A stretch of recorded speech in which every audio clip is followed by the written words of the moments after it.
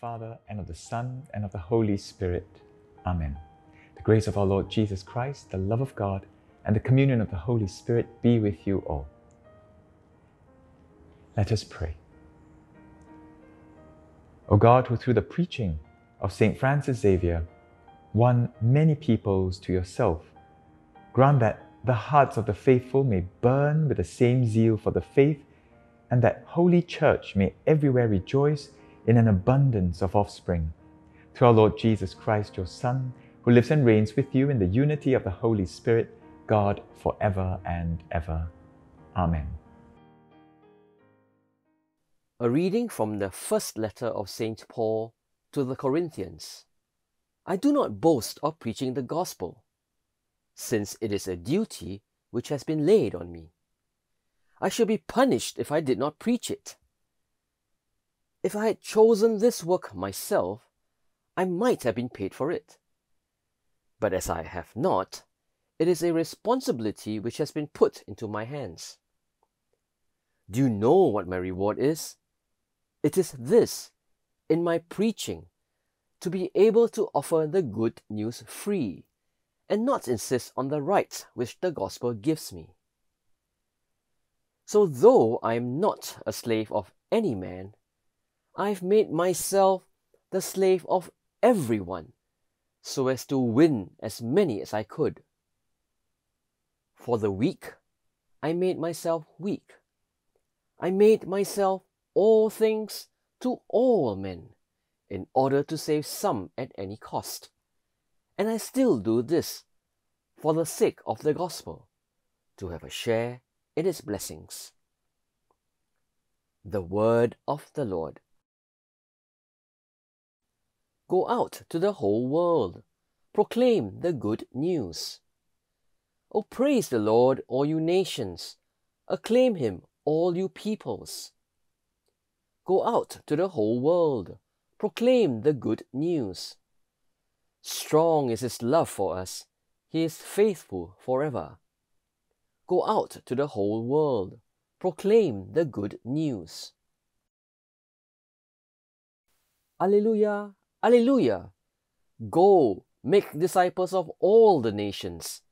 I'm with you always, yes, to the end of time. Alleluia. The Lord be with you. A reading from the Holy Gospel according to Mark. Glory to you, O Lord. Jesus showed himself to eleven, and he said to them, Go out to the whole world proclaim the good news to all creation. He who believes and is baptized will be saved. He who does not believe will be condemned. These are the signs that will be associated with believers.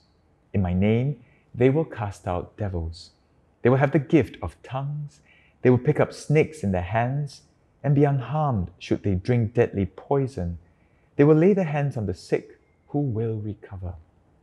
And so the Lord Jesus, after he had spoken to them, was taken up into heaven. There at the right hand of God, he took his place, while they, going out, preached everywhere, the Lord working with them and confirming the word by the signs that accompanied it. The Gospel of the Lord. Praise to you, Lord Jesus Christ. Imagine if you could be roommates with a saint. Which saint would you choose? Or rather, which saint do you think God will give you as your roommate? For St. Francis Xavier, he had St. Ignatius of Loyola as his roommate when they were studying. And you can imagine these two saints in their rooms. Um, what were they doing? Um, what were they chatting about? I think you can imagine um, that they were sharing their dreams, their conversion stories, perhaps, um, and how they intend to bring this fire that's within them um, to others, while at the same time studying. And St. Francis Xavier was one of the first companions of St. Ignatius, and that together they, they, they started the Jesuit order. And today we celebrate this wonderful man, St. Francis Xavier. And Singapore, we have his, We have a parish that um, is uh, dedicated to him. We, our local seminary, uh, he is the patron of our local seminary. And so we can see that St. Francis Xavier is quite important for us Singaporeans. And also in Malaysia, uh, because he is the patron of missions, together with St. Therese Lisieux. And in fact, St. Francis Xavier did come to this part of the world.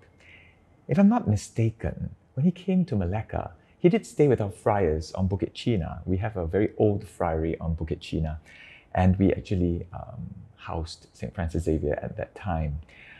And this was the heart of the early missionaries to go forth. Uh, but we have to remember that this going forth actually has got that beginnings in conversations like St. Ignatius uh, and St. Francis Xavier had, that their hearts were inflamed and to want to bring the same fire of the good news to people. And this is what we Franciscans um, we see about evangelization. It's not so much of we bringing the good news to another. Sometimes in this desire to bring the good news to another, because our hearts are so open to bring the good news to another, our hearts are also open to receive the good news from the other, that we are mutually evangelized.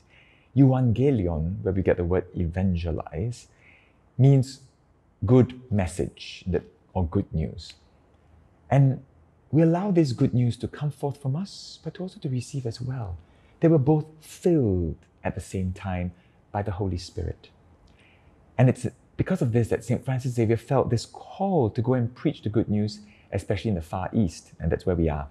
Um, I think some of us might envy St. Francis Xavier and his travels. He was in India, uh, he was in Japan, uh, landing in Kagoshima, um, in Nagasaki, and um, certainly came to uh, Malaysia, the Malaya Peninsula, and wanting to go into China. And that's when he actually died uh, of a fever before he actually officially entered into China. Um, and we love to travel. But for St. Francis Xavier, he traveled because he desired to bring the good news to all and to make everyone sons and daughters of God. So, where is the Lord leading you in the season of your life? Are you having this conversation that fires up your soul at the moment? Is this the stage where you're at? Where you find that you and a good friend or someone in your ministry or from church or a group of people coming together and you find that as you are talking about God, your, your, the fire within you is really burning and, and creating this zeal within you. Or maybe you're at this season of your life when you're called to go forth after being fired up. And where is the Lord leading you? Which unknown territory is the Lord guiding you to and entrusting you to? So perhaps on this feast, let us see where we're at in the season of our life, especially in our journey with God, and how is the Lord leading you, guiding you, and entrusting you to a particular mission. And with confidence, we now pray in the words our Savior taught us. Our Father who art in heaven, hallowed be thy name. Thy kingdom come, thy will be done on earth as it is in heaven. Give us this day our daily bread, and forgive us our trespasses, as we forgive those who trespass against us. And lead us not into temptation, but deliver us from evil. Let us pray. May your mysteries, O God, kindle in us that fire of charity with which St. Francis Xavier burned for the salvation of souls, so that walking ever more worthily in our vocation, we may obtain with him the reward you promise to those who labor well in your harvest, through Christ our Lord. Amen. The Lord be with you. And may Almighty God bless you, the Father, and the Son, and the Holy Spirit. Amen. Go in peace, glorifying the Lord by your life. Thanks be to God.